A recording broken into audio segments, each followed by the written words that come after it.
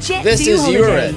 And right now, Oh. you can save Can you imagine the kinds of demons this man was dealing with? family of four. Ugh. This is likely a parasite called Ascaris, a giant roundworm, but how it got there? That's wild. This person ingested invisible warm eggs, either in food and water, unwashed hands. The eggs lived and hatched in the intestine. They then burrowed through the intestinal wall, got into the blood circulation, and then were taken to the lungs. The person coughed it up and then swallowed it. The parasite then grew into fully adult forms in the intestine up to 6 to 12 inches long. It procreated, mated, produced eggs inside of this person, and how it ended up in this urine cup. Number one, there were now so many in the intestine that when this person was urinating, one fell out of the anus. Or two, much worse, it found a way to crawl from the intestine into the urinary tract and then exited with the urine.